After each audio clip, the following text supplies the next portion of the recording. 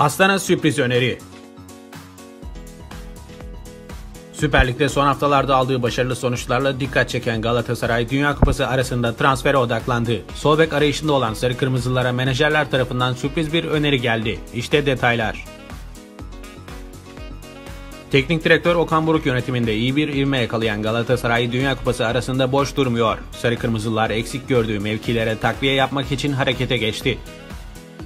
Cimbom'da Hollandalı sol bek Patrick Van Aanholt ile yolların ayrılması bekleniyor. Bu bölgeyi güçlendirmek isteyen Aslan'ın gündemine ise birçok isim geliyor. O oyunculardan biri de Barcelonalı Jordi Alba oldu. Barcelona ile kontratı 2024'te bitecek 33 yaşındaki Jordi Alba sarı kırmızılı takıma önerildi. Galatasaray yönetimi 33 yaşındaki futbolcunun ismini not ederken teknik heyetten bir talep gelmesi halinde isminin gündeme gelebileceği öğrenildi. 1.70 boyundaki tecrübeli isim bu sezon 12 karşılaşmaya çıkarken 2 de asist yaptı. İspanya milli takımı formasını da terleten Alba çıktığı 87 maçta 10 gol atma başarısı gösterdi.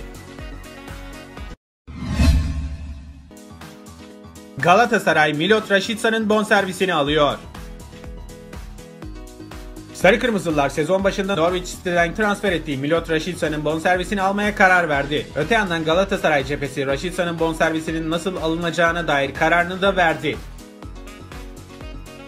Sarı Kırmızılılarda Rashica'nın performansı yüzleri güldürüyor. Transfer sezonunun son günü Norwich City'den kiralanan 26 yaşındaki kanat oyuncusu beklentileri karşıladı. Derbide de 90 dakika sahada kalan Rashica performansıyla parmak ısırttı. Yıldız oyuncu attığı çalımlar ve hızlı deparlar ile bir kanat oyuncusundan beklenen neredeyse tüm görevleri yerine getiriyor. Rashica'nın performansından çok memnun olan Sarı Kırmızılı yönetim ve teknik heyet futbolcunun bonservisini almak için harekete geçiyor. Kurmaylar Dünya Kupası organizasyonunu fırsat bilerek Norwich City ile görüşecek. Yönetimin transferi için öncelik verdiği isimler arasında yer alan Rashica için bonservis pazarlığı yapılacak. Rashica geçirdiği 2,5 başarılı yılın ardından 2021'de İngiliz temsilcisi Norwich'e 11 milyon euroya transfer olmuştu. Bir yıl sonra ise Galatasaray'a kiralandı. Takvimin haberine göre Sarı Kırmızılar Norwich Premier Lig'e çıkmadan kapısını çalarak Rashica için fazla para ödemekten kaçmak istiyor.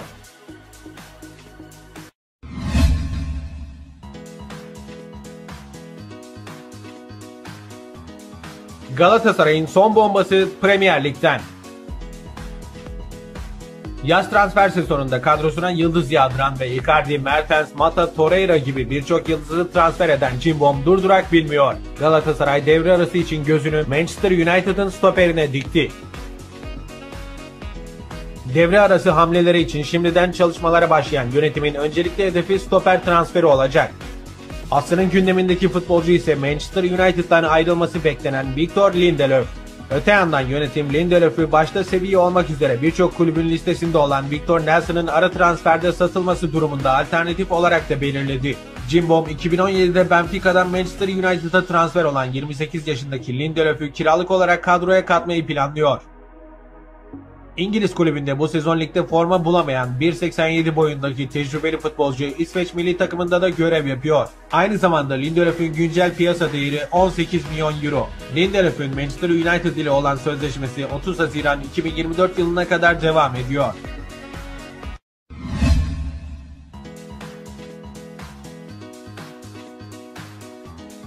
Marcao referans oldu. Sevilla Galatasaray'ın yıldızını transfer ediyor. Transfer sezonunda kadrosuna kattığı yıldız isimlerle Süper Lig'de yeni sezona iyi bir giriş yapan Galatasaray'da flash gelişmeler yaşanıyor. Sezon başında başarılı stoperi Marcao'yu seviyeye gönderen Sarı Kırmızılarda bir yıldız daha kayıyor. İspanyol ekibi Marcao'nun da referans olduğu yıldız oyuncuyu kadrosuna katmak için harekete geçti. Sevilla devre arasında Cimbom'un kapısını çalacak. Defansta problem yaşayan İspanyol ekibine ilaç gibi gelen Brezilyalı stoper sakatlıktan yeni çıkmasına rağmen ikili mücadelelerde rakiplere geçit vermedi ve 7.3 rating alarak sahanın en iyi performans gösteren ikinci oyuncusu oldu.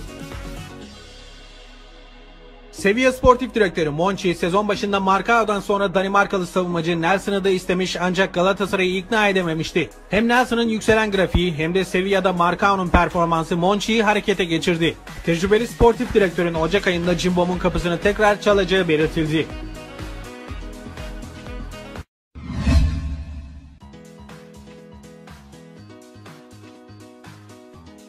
Yunus Akgün imzayı atıyor.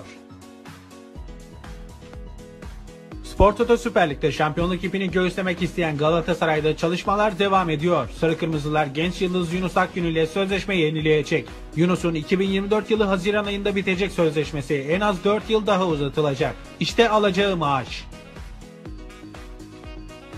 Galatasaray'da iç transfer görüşmeleri devam ediyor. Victor Nelson'ın sözleşmesini yenileyen Sarı Kırmızılı ekip Saşa Boya ve Kerem Aktürkoğlu ile de büyük oranda anlaştı. Yönetim bu hafta Yunus Akgün'ün temsilcileriyle masaya oturacak. Aylık 70 bin lira maaşı ile takımın en az kazanan isimlerinden olan Yunus Akgün'e yıllık 15 milyon liraya yakın ücret önerilmesi bekleniyor. 2000 doğumlu genç yeteneğin 2024 yılı Haziran ayında bitecek sözleşmesi en az 4 yıl uzatılacak. Yaz transfer döneminde Amerika'dan 7 milyon euroluk teklif gelen Yunus Akgün'ü Avrupalı scoutlar da takip ediyor. Bu sezon futbolu eleştiri alsa da teknik direktör Okan Buruk genç yıldıza güveniyor ve kendisini göstereceğine gönülden inanıyor. Geçtiğimiz sezon Adana Demirspor formasıyla harika bir performans sergileyen genç yıldız şu ana kadar 8 haftada gol atamazken sadece bir asist yaptı. Ancak istatistikler Yunus Akgün'ün aslında çok iyi bir grafik çizdiğini, sadece bunun skora yansımadığını gösteriyor. Milli futbolcu sağ kanat oyuncuları dikkate alındığında ligin en iyilerinden birisi olmayı başardı. Yunus maç başına 18 şut pası, 36 başarılı dribling, 46 başarılı atak aksiyonu, 3.46 asist beklentisi, 8 isabetli kilit pas, 131 3. bölgeye isabetli pas ve 46 kazanılan ofansif birebir istatistikleriyle zirvede yer aldı. Okan Buruk'un yıldız oyuncunun performansından çok daha memnun olduğu gelen bilgiler arasında.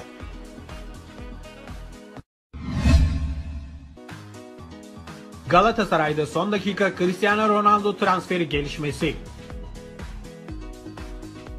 İngiliz ekibi Manchester United'da mutsuz günler geçiren yıldız oyuncunun adı sarı kırmızılarla anılıyor.